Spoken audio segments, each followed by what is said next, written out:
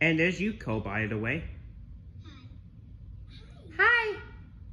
I want to say I am sorry to you. Sorry? What are you sorry for?